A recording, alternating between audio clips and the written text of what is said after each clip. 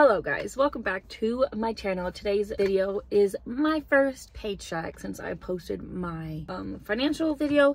So as you know, if you watched the last one, I'm getting back on to paying off my debt.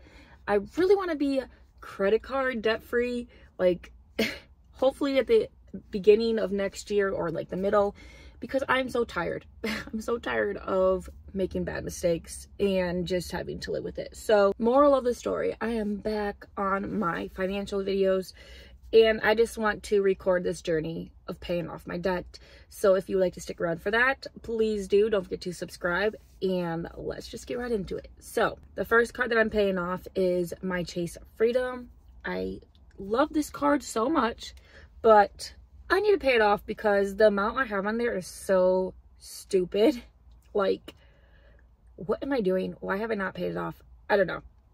I've paid this card off twice before. And I think like the major thing about this card is once I pay this off, I am going to go down to smaller limit because I am just financially unstable. Obviously, I cannot handle the amount that I have on there. So I think I'm going to try to go down to like $500 on this card so I can get back on track with using credit cards. Um, but right now I had $1,945, like somewhere around there. I paid $200 from my paycheck, which was on Thursday, the 28th, the 26th actually.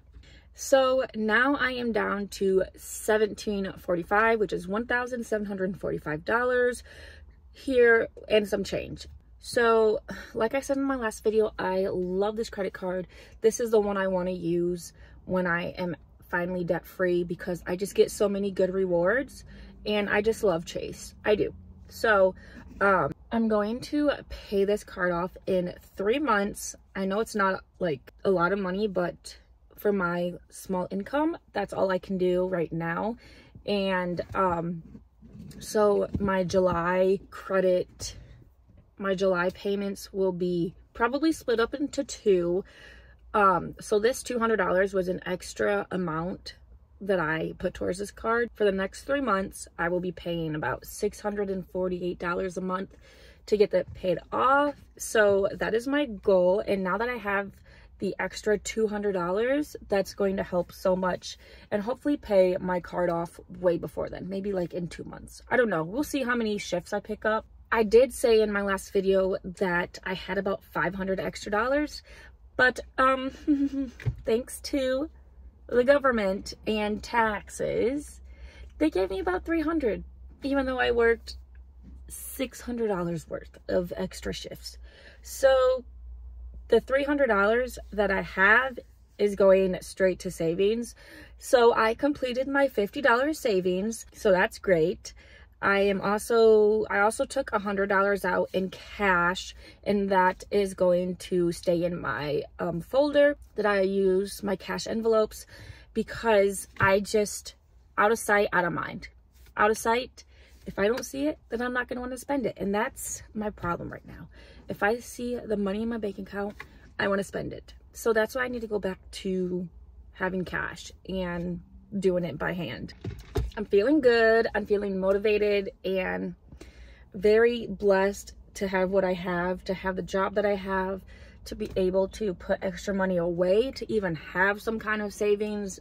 I just feel very thankful right now and I want to keep at it. Um, so my next goal for July 10th, that is my first paycheck of July, is to put another $50 down. And um, I am happy. I'm feeling motivated. I'm feeling good.